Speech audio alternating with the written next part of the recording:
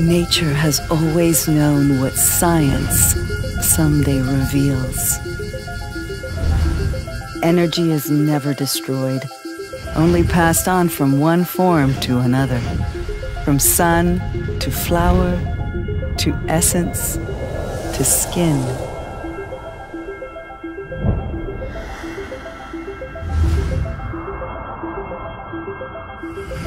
L'Occitane en Provence, cultivators of change.